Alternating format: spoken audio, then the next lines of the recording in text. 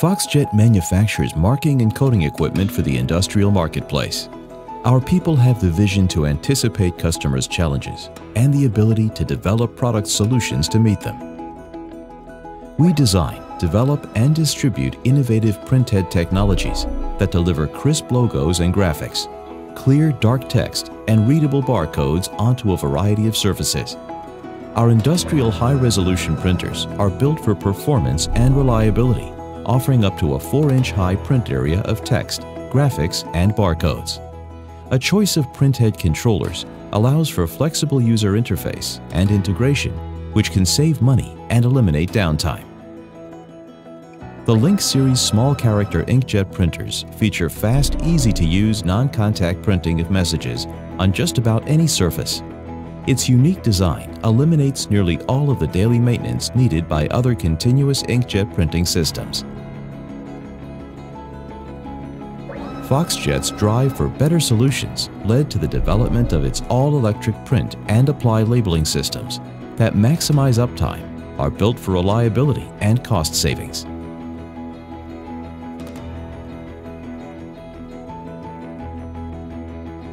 The Solo Series thermal inkjet printers from Foxjet feature many printing capabilities including up to 10 lines of alphanumerics, as well as logos and barcodes.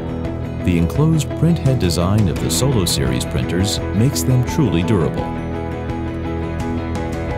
Foxjet's VX Series print heads for dot matrix marking and coding allow for half-inch to 2-inch in print height a wide array of built-in printing codes and ink types allow end users to quickly create messages for printing on any substrate.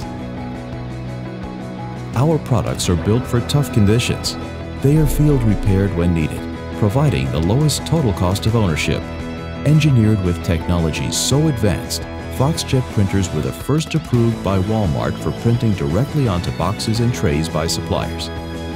Same-day service and repairs are not uncommon through Foxjet's distribution network, which spans international, national, regional, and local markets.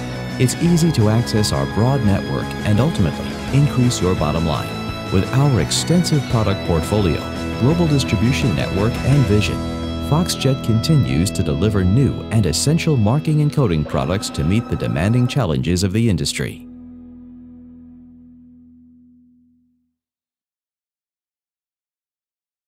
Welcome and thank you for joining us on this virtual presentation here. Normally we would present in person to you, but the way things are, we're just going to have to do it this way. So we thank you for joining us.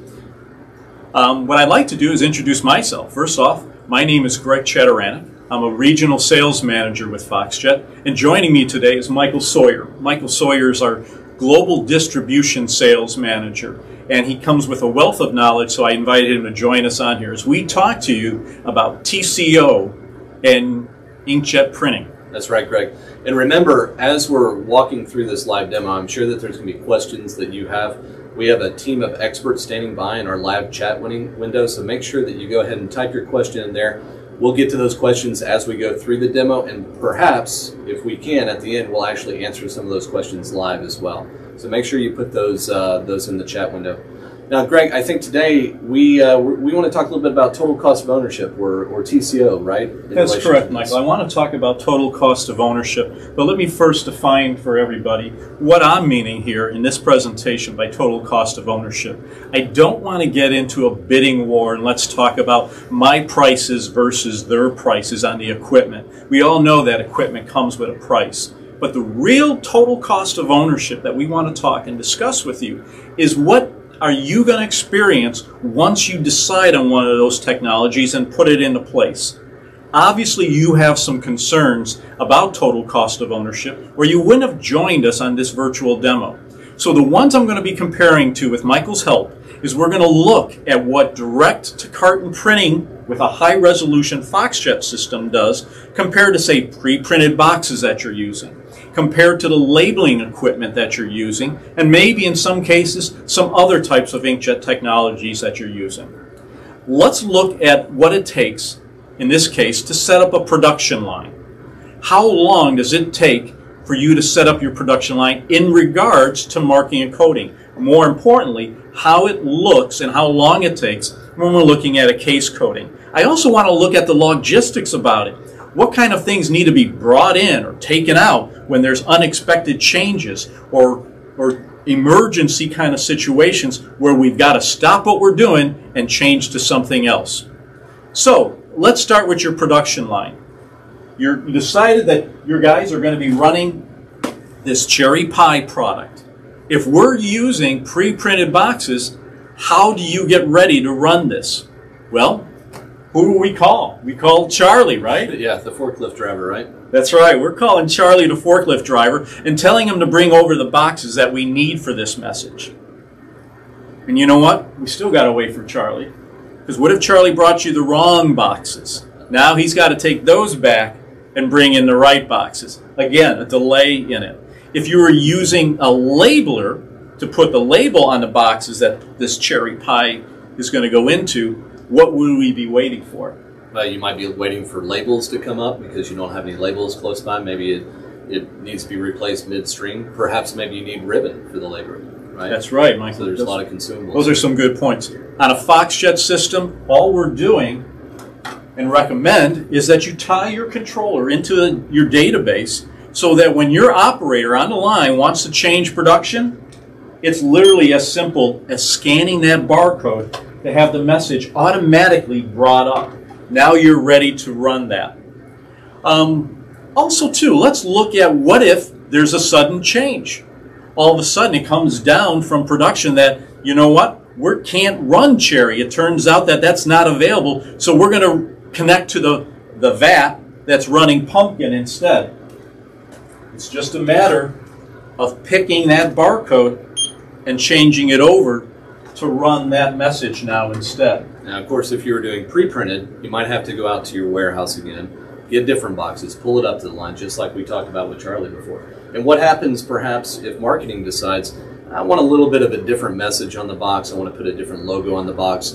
Well, all of those boxes that were in your inventory store, those are now obsolete. Those have to be trashed. You lose all of that profitability that you have that you put into that inventory item. So, pre-printed seems like a really simple kind of process, but there's a lot of things that go into increasing the total cost of ownership when you look at. That's right. And then let's look at it. We're looking at labels. What if you're putting on a pre-printed label onto that box and there's an ingredient change?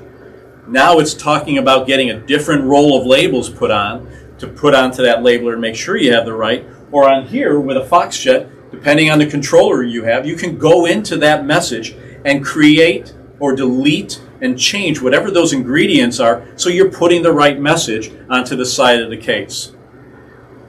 So let's take a look at what you do to set up for your line, right? We talked about bringing up the right message. We got that set. We understand how to do that with the Foxjet system as opposed to how you're doing it with your current system. Keep that in mind. What kind of adjustments do we need to make on the production line to make sure that our printheads are putting that information where we want it on the box? Right, right. So, Greg, we've got a couple of items here that really make that easy to do. So, the first one that we're showing here is actually our XY toolless adjustment bracket. So, I have the ability to very quickly move this print head in closer to the line. Perhaps if it's if it's a wider box, maybe I need to pull it out. But also keep in mind that I can very quickly move it up and down. So, in this case, I can see that my box may be just a little bit too uh, too low for this particular printhead. So, all I'm going to do, just very simply, just twist that. I'm going to lower it down a little bit, lock it back in, and now it's ready to go. It's at the right height for this particular box. Notice he didn't pull out any tools to do it, no measuring sticks, no balancing of the printhead. The whole printhead moves up and down without any tools, and you can move that handle out of the way so nobody bumps into it and becomes an obstacle later. Right, and then of course also, Greg, keep in mind that we're running our retracting bracket. So what that allows me to do is actually have a box that will ride on these rollers here in the front, and as the product rides, it's actually going to push the print head back. It doesn't push it back too much, but the main reason that we have this is to protect the print head for one, and also if you have any overfilled boxes, you might see that there's a little bit of a bow on that box, and so as the box goes by, it actually pushes the print head back a little bit and still provides a very perfect mark on your box.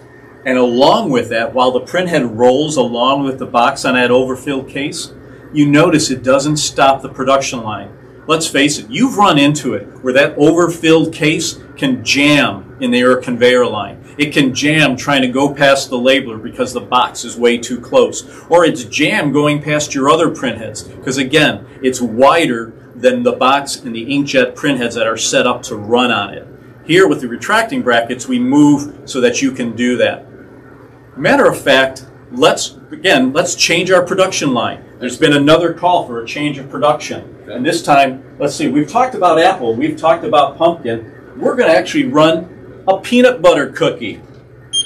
Again, simple click of the handheld scanner onto the barcode. And let's, Michael, let's go ahead and run it past Yeah, yeah, sure. and let them see what, what the print looks like and how fast we just changed over a production line. Absolutely. Oh, let me rerun that. I didn't have it turned on. Okay, take two. There we go.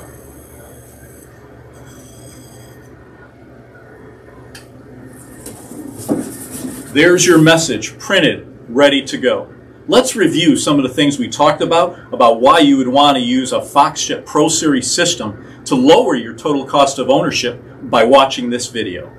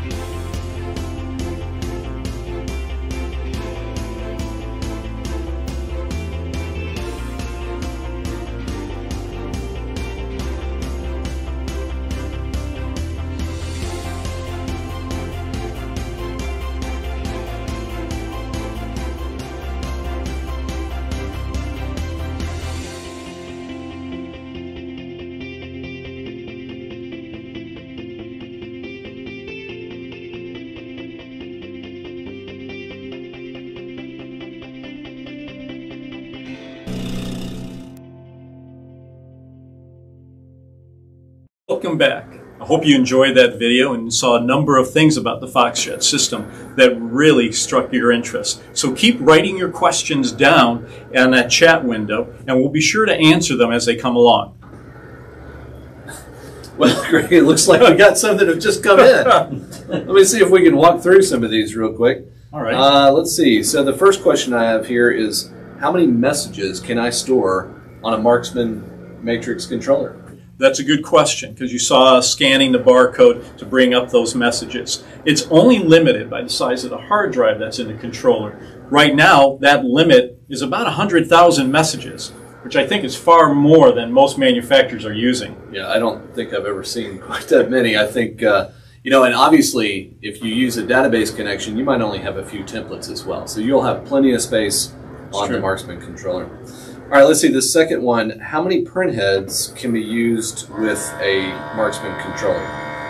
Well, on a Marksman controller, you can use up to four printheads. It can be any combination of the 384 or the 768E printheads, any combination, just up to four. Okay, four. Well, that probably is plenty. All right, the last question that we have here is when can you come see my operation? Wow, we got somebody that's ready for us to come out and Don't talk to love them. that? That's love excellent. that when they answer that. well, Foxjet, we'd love to come see you, but Foxjet sells exclusively through distribution. And so what's going to happen is we're going to pass that lead and your interest on to one of the authorized local Foxjet distributors in your area, and they'll set up a meeting and time to meet with you to talk to you more about Foxjet and what it does. Excellent, excellent. Well, I think we're out of time. Again, appreciate those questions coming in. Continue to chat with our experts. we'll continue to answer your questions and get us in contact with you either through ourselves or possibly either one of our distributors as well. So thanks for joining us and have a great day.